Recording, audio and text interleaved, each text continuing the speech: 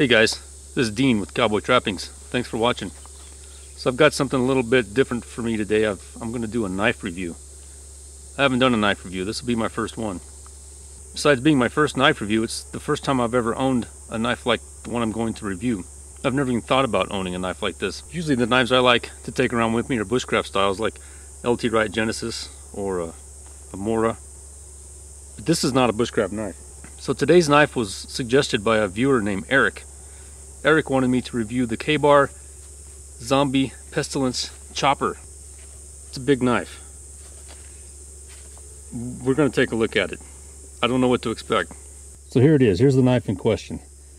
This is the Pestilence Chopper by KA-BAR. The overall length is 15.75 inches. The blade is 10.25. The blade thickness is 0.21. The material is SK5. It's got a flat grind.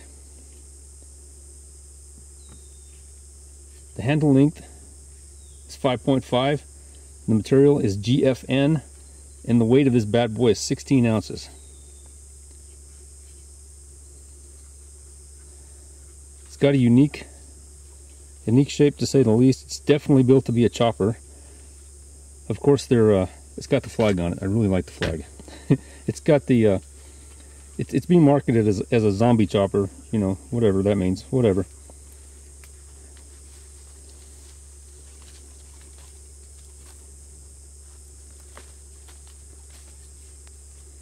So let's see if it'll chop something zombie-like. Not being a zombie expert, I couldn't think of anything to chop up besides a watermelon. So let's see if the old uh, chopper here can do a little damage on a watermelon before we get started with some actual tests we might use.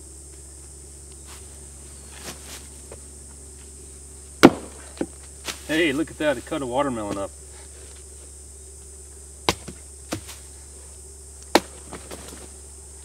I guess that's a good test for a chopper, I don't know. For a zombie chopper. Yeah, sure enough cut that watermelon up. Okay, let's try some real tests. Some out in the woods kind of test. Okay, so here's an old piece of cottonwood that's dead and down. Let's see how it does with chopping some wood here. Not bad, I guess.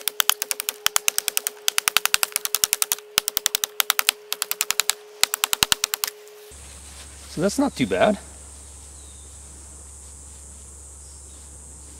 And the edge still looks fine nothing going on there.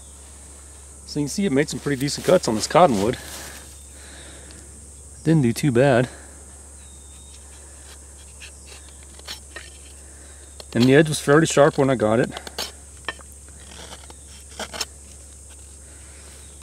Let's go chop some more stuff. So this is some green salt cedar is what we call it. I'm not sure what the real name is, but it's invasive as heck. So I don't mind chopping it all up with my zombie chopper.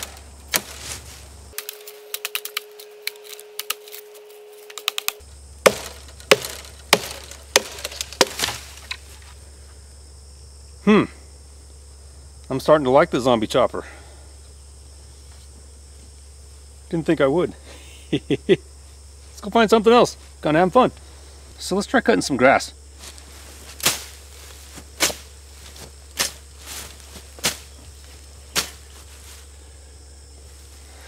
It's not bad, huh?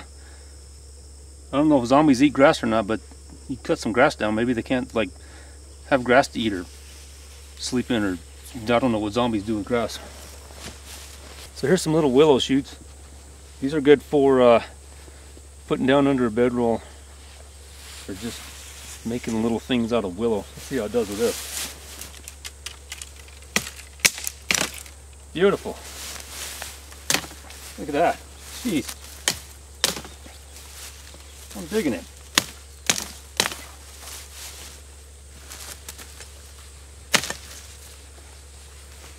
yeah, you could make a bed pretty quick with that. Look at that. Nice.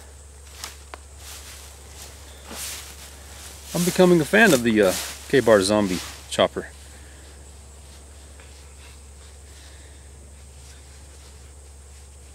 Okay, so this is a little elm tree that's it's not going to grow up to be anything but a bent over tree. It's not going to make any good wood. It's growing next to a a decent tree that if we cut this one down, it'll give this one next to it room to grow into some wood that we can use to burn. So we're gonna see if the old zombie chopper here can chop this elm, elm tree down.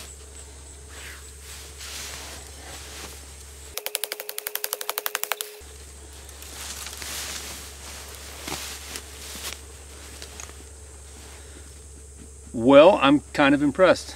I, didn't think it would do it that easily. this is kind of a neat little knife. The uh, the blade still looks fine, the edge still looks fine, the finish is still fine, and the finish is a rough finish. It's like on the uh, Schrade, the older Schrade knives, but it's still fine. It hasn't started scratching or anything. Can't see anything on there at all. All right, let's go try and split some wood and do a little fire prep. See how the zombie chopper does at that.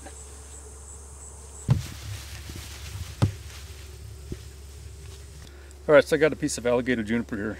It's not the hardest wood in the world, but it's something that's realistic for around here that I might have to split to make smaller to make a fire with.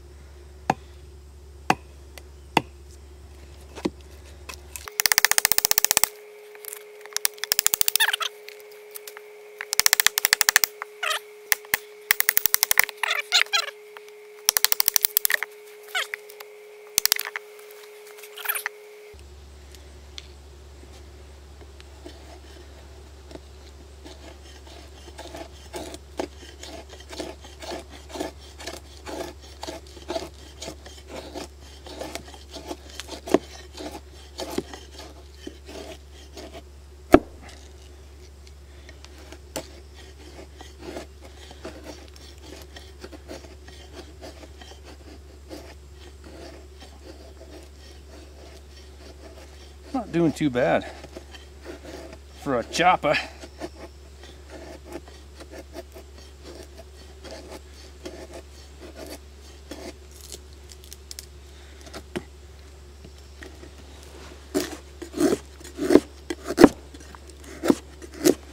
It's kind of awkward to do shavings with, but it's, you know, it's not really built for shavings.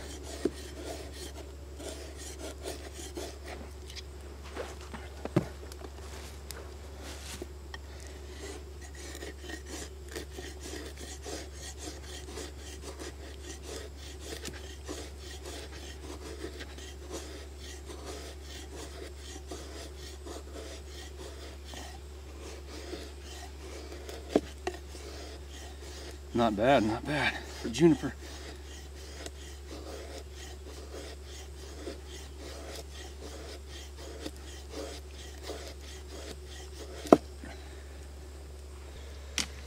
Let's try some Walmart special fat wood here. Because fat wood around my part of the country is a little hard to find.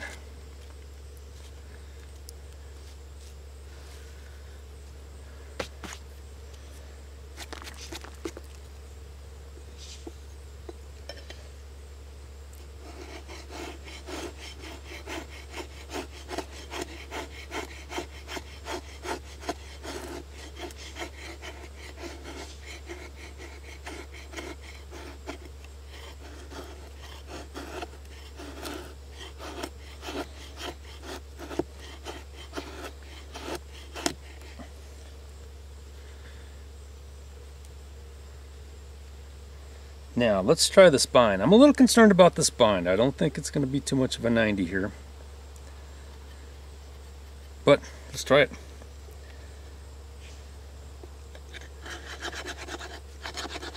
Yep, I didn't think so.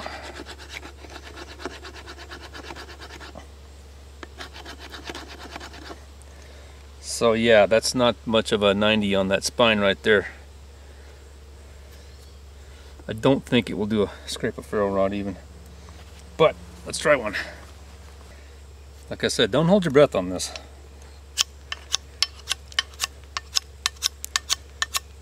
It's not even scraping off the, the coating. There we go.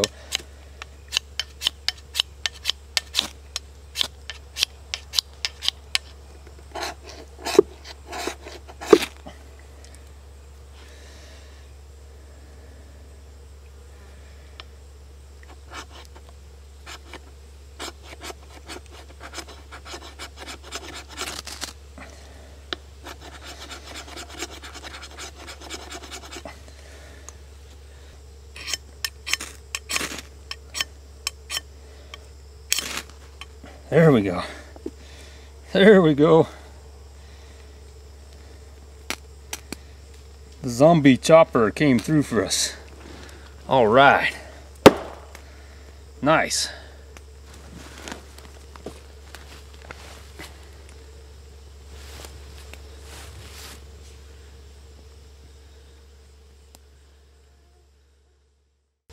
Well, there it is. There's the KA-BAR Pestilence Chopper.